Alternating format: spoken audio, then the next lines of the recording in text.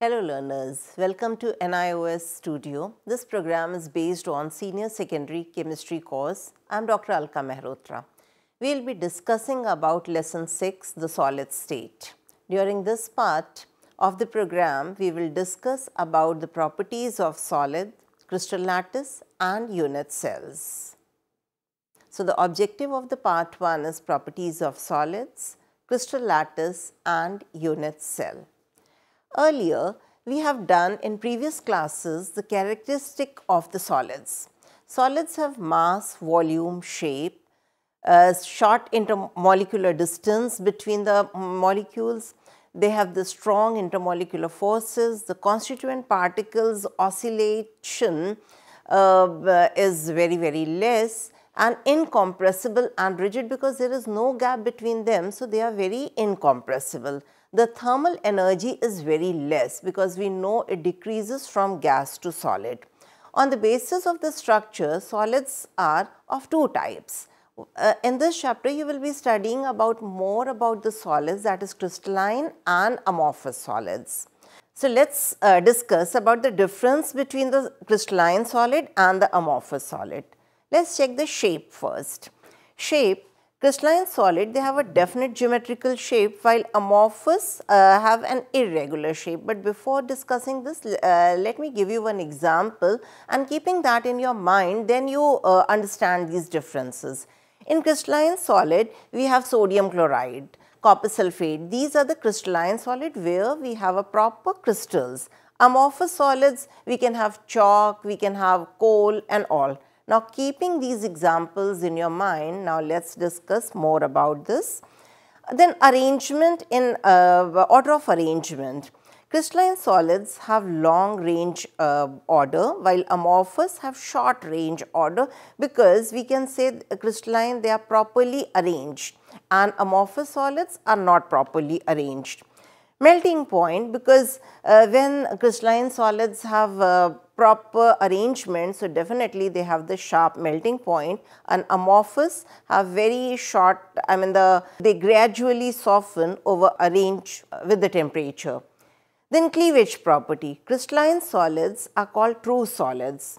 When cut into the sharp edge tool, they split into two pieces and newly generated surface of plain or smooth.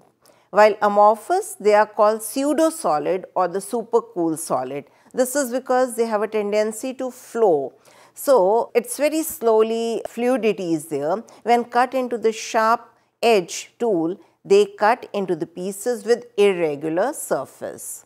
Then heat of fusion.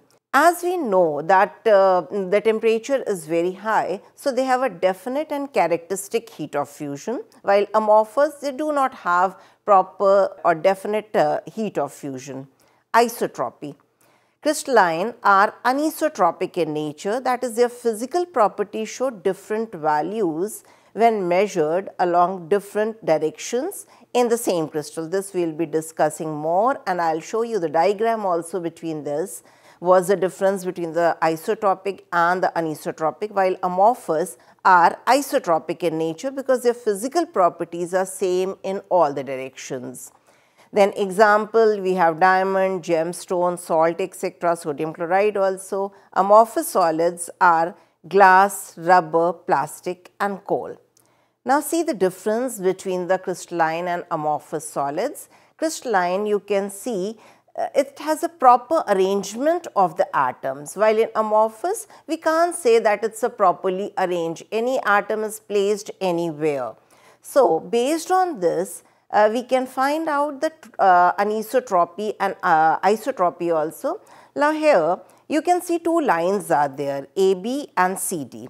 Now, if we are cutting through AB you can find the different atoms will be cut if you are cutting from CD, you will find the different atoms like here we have uh, the big circle red color and the other one is the blue color. It means we can say that anisotropy is actually what I told you earlier also that they have a different physical properties because the cutting property is totally different. That is why I am showing you this slide again. You can again it will be very very clear, uh, clear to you that anisotropy means the physical property show the different values because they are cut in the different uh, form of the crystals.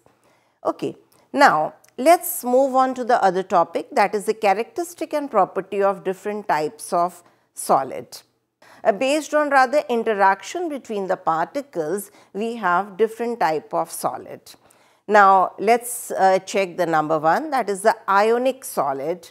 In ionic solid as the name is showing the atoms are actually the instead of atom we will say ions. So, the particles are ionic the interaction between them is the ionic force or we can say the Coulombic force because the ions are there and you know cation and anion the attraction is always very strong. So, because of that they are quite hard and brittle. Melting point we will say definitely very high because it is very difficult to break the bonds.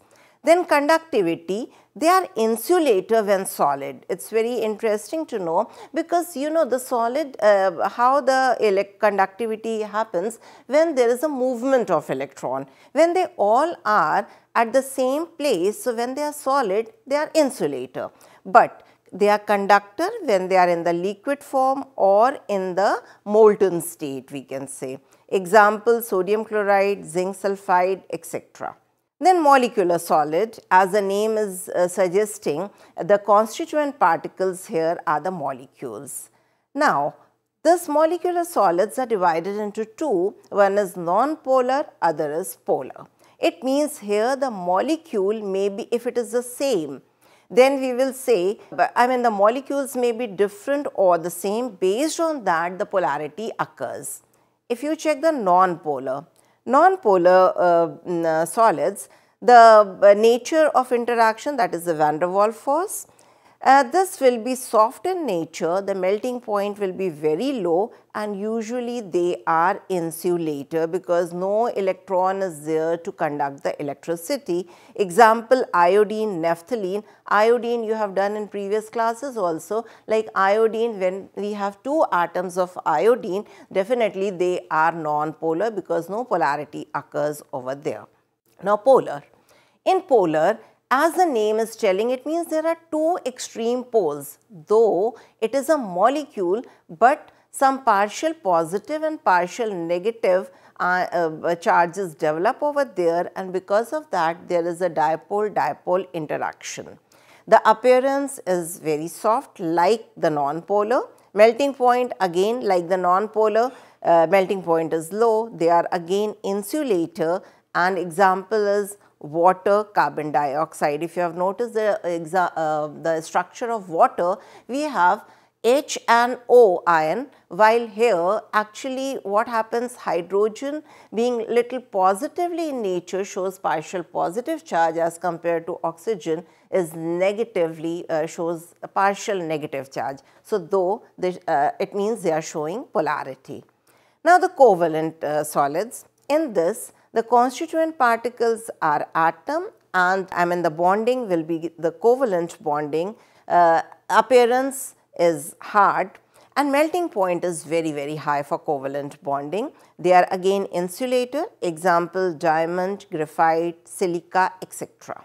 Now metallic solids. In metallic solids the constituent at, uh, particles are atoms. Uh, the name of the bonding uh, metallic bonding uh, melting point is variable. Variable means it depends on which metal we are uh, talking about or which we are discussing about. The electrical conductivity, conductors in solid and the molten state an example copper, silver etc. Okay. Now, as we have done uh, about the solid properties and all, now actually how solids are arranged, how atoms are arranged in the, uh, in the solid. Now we are going to discuss about that. Here we have two things. One is crystal lattice, other is unit cell. I want to show you this. So it will be very clear to you. Like here, Let's imagine and uh, assume that this is your crystal. Let's take as a lattice. Now, in the lattice, we have again a small, small cells, which we say as a unit cell. Now, uh, it is defined, a unit cell is defined as the smallest repeating unit. Now, you can see it's a repeating unit over here. Repeating unit in space lattice which when repeated over and over again generates a complete lattice. Is it clear? So, we are getting a complete lattice how? By repeating unit cells. So, the crystal can consist of an in, uh, infinite number of unit cell. Here you can see only 9, but it may have lot of uh, unit cells. Now, what is crystal lattice? A regular ordered arrangement of constituent particles in three dimension is called crystal lattice. Now here you can see only one dimension, but if I move it, you can see all the three dimensions over there. So this is how a crystal is formed. This is the lattice points. This is the lat uh, lattice edge. Now lattice, lattice point or lattice sites the fixed position on which the constituent particles are present are called lattice point or lattice sites. A group of lattice points when repeated over and over again in three dimensions give complete crystal lattice. So, these are the lattice point where the atoms you will find and when you find everything complete together we say uh, we it will form a three dimension uh, uh, unit which is a crystal lattice. Now, this is what you have seen over there. Now, here I showed you one thing like this you can see everything is 90 degree. This is a cube, but in the crystal it may vary also. Here this, this may vary, the length may vary, this may vary, this may vary these things may vary. The height may vary. Then if the height is varying, it may be tilted also. Here you can see it's 90 degree, but sometimes it may form some angle also. So, I want to show you this. If you see, I have mentioned over there, you can see in the diagram as well as over here, the dimension of the unit cell along the three edges A, B and C you can see here this is A, this is B and this is C. Okay. Uh, they may vary. Inclination of the edge to each other. Now, here you can find it's 90 degree, but it may be tilted also. So, the inclination will be different over there. Now, here you can find again the angle between the B and C we say as alpha the angle between A and C as gamma and the angle between B and A as gamma we take. So, alpha, beta, gamma angles we find in this lattice structure and because of that the seven crystal lattice uh, is formed and how they are formed uh, this was given by a scientist that uh, Bravais, Bravais has given the uh, seven uh, possible structures where the A may vary, B may vary, C may vary, alpha, beta, gamma angles may vary and because of that we can get seven crystal lattice structures. You can have a look over there. These are the structures. Uh, now based on that again we have different unit cells primitive and centered unit cell. Primitive or simple unit cell have constituent particles only at the corners and centered unit cell are those unit cell in which one or more constituent particles are present at position in addition to those present at the corner. So, let us first discuss about primitive or simple unit cell. Simple unit cell you can see in the figure also as I also showed you in the cube uh, where I showed you the lattice points. So, you can find atoms are there at the lattice point. Now, you know there are uh, 8 corners uh, in the cube So it means we can say the atoms are arranged in 8 different corners. So the number of corners are 8, number of unit cell sharing atoms at the corner is 8. So, number of atoms in a simple cubic uh, cell is 8 multiplied by 1 by 8. Now, this I want to explain again to you. With this, if you see, now what is the meaning of that which I told you just now? Number of corners definitely are 8. 1, 2, 3, 4, 5, 6, 7, 8. Now, atom we assume as a sphere. Now, if it is a sphere, it means full sphere is not coming over here. If we imagine the inner part of that, we have three layers. Got it? The inner one, it means if you arrange one more over there, this center one is sharing with 1, 2, 3, 4. Now, if you put one more over there, that will be Uh, uh, that will again be sharing with 1, 2, 3, 4. It means one corner or the one sphere shares is one eighth part of one lattice. Is it clear? So, the number of atom in a simple unit cell is 8 because 8 are the lattice points and 1 eighth why are we taking? Because one sphere is attached with the 1 eighth part or 1 eighth part of the sphere is present in one unit cell. So, we can say in primitive or the simple unit cell we have only one atom present. These are divided into uh, various uh, parts like face centered, body centered and end centered. These are the centered unit cell which I already told you that centered unit cell means apart from the uh, basic one or two atoms will be more over there. Now, let us discuss about body centered.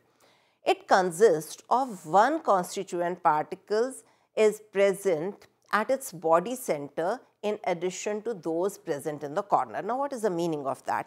Body means suppose if we are taking this. Here again, we have already discussed that if one uh, unit cell we take, we have one atom. How? 8 multiplied by 1 upon 8 we get 1. Now body centered means in whole body of the cube there is one more atom over there. So let's discuss in total how many it should be. Now number of corners again we have 8. Earlier we have decided that 1, I have explained to you that 1 atom is present in the unit cell now, in the body, there is one more atom. So, the total number of atom in the body centered cubic cell is 1 plus 1 is equal to 2. I hope this is clear. Now, the face centered unit cell. What is the meaning of face here? Now, please remember here that the unit cell as uh, I already told you there is one atom. This you have to remember because uh, everywhere we have 8 corners and uh, 1 eighth part of that. So, 1 is definitely there. Now, face centered meaning what? You can find here we have how many faces in the cube? 1, 2, 3, 4, 5, 6. So, 6 faces are there. In the sixth phase, now one sphere is, you will not assume that one full sphere is for that only because if you see here, this is attached with this and in between one sphere is there. It means half of the sphere with this unit cell, half of the sphere is with this unit cell. So, in one if you find, it will be half of the 6. It means 3. So, 1 is already there in that and there are 3 atoms more over there face centered so, we can say the number of atom points in face centered cubic unit is 1 plus 3 is equal to 4 atoms. Now, the end centric uh, uh, cell, it consists of one constituent particle present at the center of two opposite faces in addition to those present in the corners. So, corners we have already uh, discussed, there are one atom now, any two uh, opposite faces, whether here or here, here or here, or here or this side. Just two opposite faces, it will one more atom will be there. But again, the full atom won't be there, it will be the half because it is sharing with the other one. So, we can say half this side, half this side makes one atom. So, earlier it was 1 plus 1. So, end centered unit cell has total of 2 atoms. So, here I am going to uh, finish this uh, program, uh, the part of this solid state. In this program, we have discussed about the properties of solids, types of solids, crystal lattice and unit cells.